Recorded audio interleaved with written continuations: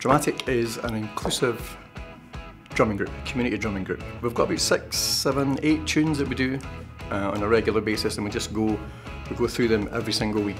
When you're working with adults with learning disability, it's a much fuller life, it's a busier life, it's a noisier life.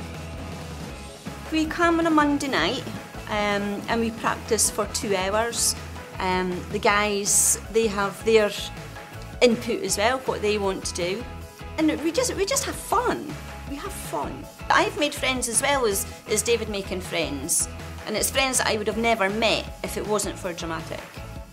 This is the one day of the week that I actually look forward to because of this. The rest of the week is fine, but this, this is just beyond amazing.